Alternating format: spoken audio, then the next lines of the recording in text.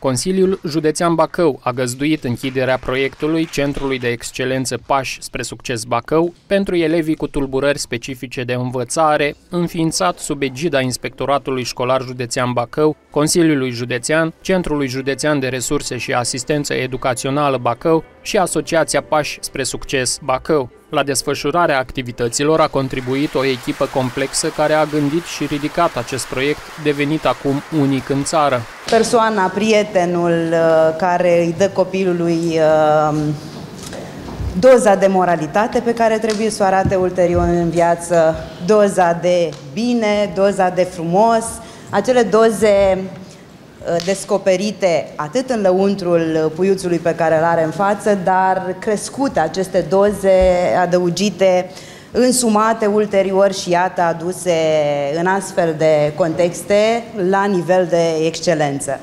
Dragii noștri copii, uh, răbdarea voastră a fost uh, excelentă și ea.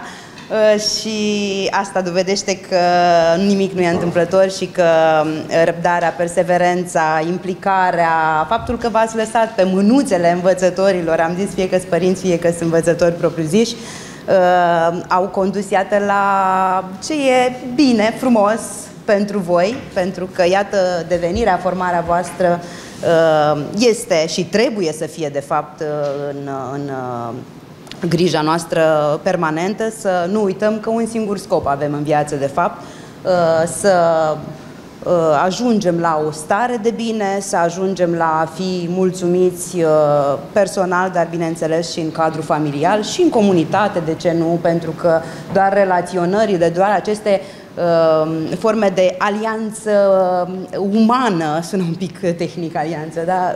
de alianță umană, de, de a pune suflet cu suflet împreună, de a pune, uh, nu știu, reacție cu reacție uh, împreună, emoție cu emoție, toate acestea pot duce la ceea ce numim întregul din noi.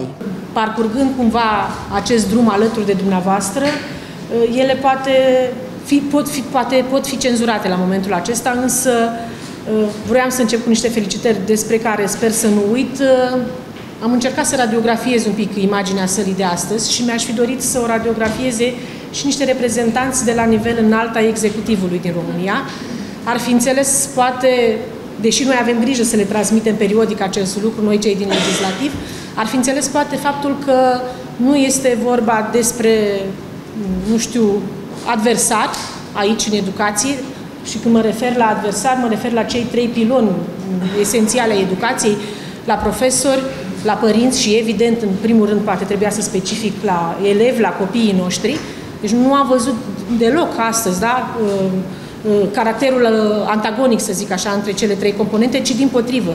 Cred că cu toții am asistat astăzi la o demonstrație de fuziune, de acceptare, de învățare, de susținere reciprocă, o demonstrație care ar trebui să convingă executivul nostru că noi, cadrele didactice, merităm, să zicem așa, ca acele revendicări care se negociază acum să fie bifate măcar într-o mare parte. E important nu doar că am început împreună toți cei de aici acest proiect, Într-adevăr, e foarte important că am recunoscut, cred, și cu asta am început fiecare dintre noi, de la părinți și apoi trecând prin profesori, că există probleme, apoi am trecut la, de la acceptare la a găsi soluții împreună și cred că asta e calea cea mai potrivită dar um, evident că n-a putut profesorul de psihologie din mine să, să stea acolo ascuns după lecția de, de română a domnului profesor, de care ne-am bucurat cu toții.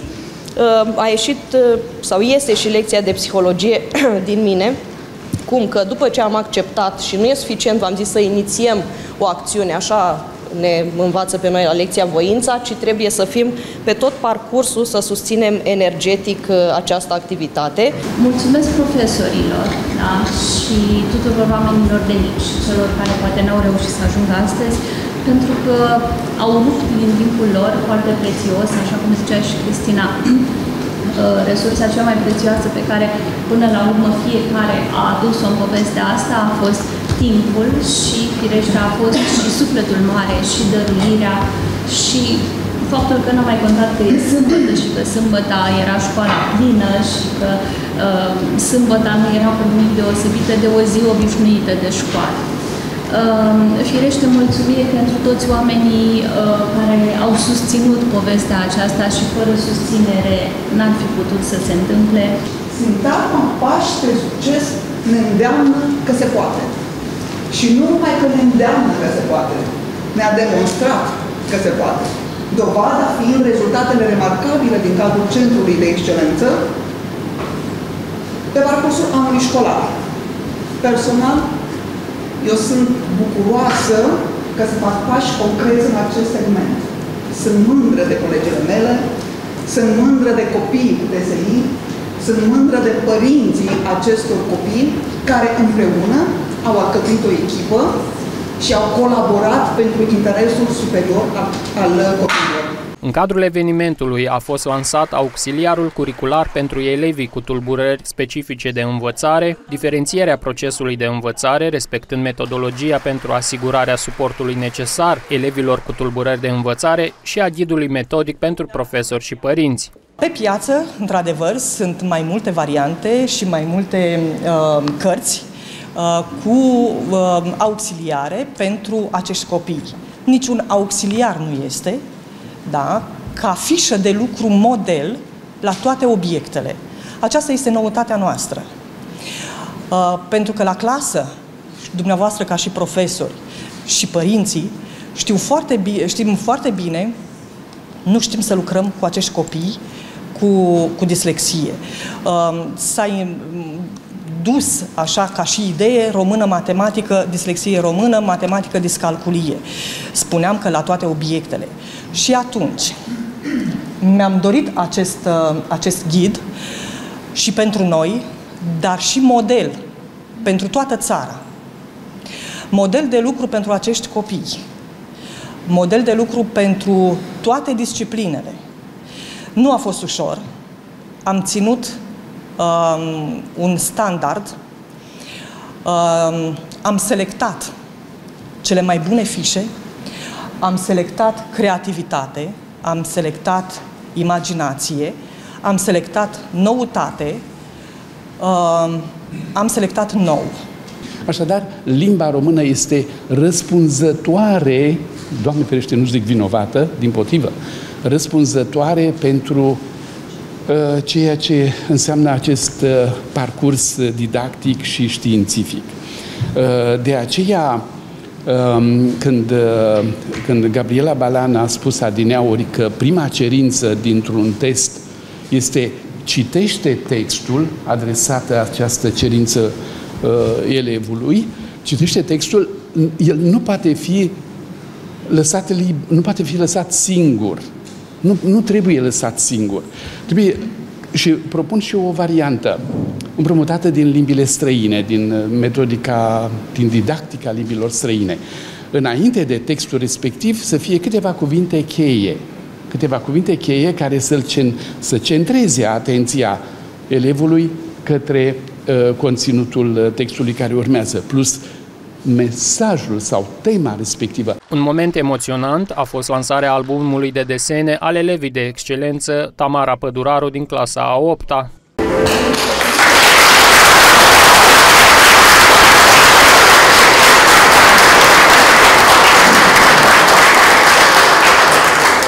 un obiectiv important uh, a fost ca Tamari să-i fac o expoziție. Ceea ce este în spate, într-adevăr, este albumul ei. Uh, totul a pornit de la o întrebare pe care eu am uh, primit-o în urmă cu 5 ani, de la o doamnă, spunându-mi de ce acești copii sunt de excelență. Răspunsul a venit astăzi este un copil de excelență.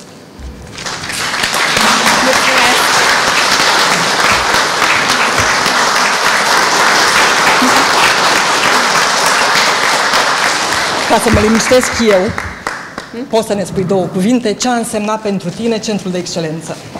Un loc minunat și care m-a putut să cunosc alte persoane ca mine și să fiu eu însă. Îți mulțumesc! noi când ne adresăm copilul sau când îndrumăm un copil în domeniul plastic, este foarte important să lăsăm să sape singur fântâna. El sapă o fântână cu mintea lui. Nu te băga. Îi dai ideea sau lui vine ideea să sape așa cum poate el. Noi ce facem? Analizăm apa. Și putem, nu e bine, fântâna nu e bine să o facem laștenă, că apa vine, nu e bine să o faci aici, că e prea sus pe munte, să explicăm lucrurile acestea. Nu intervenim noi în a să, săpa fântâna, îl lăsăm. Și așa cum omul prima casă a făcut o bordei, căsute și așa la palat, așa a început lumea, nu? Așa și aici. Deocamdată copilul gândește așa cum gândește el. În cadrul întâlnirii s-au subliniat de asemenea importanța susținerii acestor elevi, dar și a părinților pentru diminuarea și chiar înlăturarea barierelor educaționale. Tamara, ca și copil, în primul rând, a fost locul unde a fost acceptată și înțeleasă.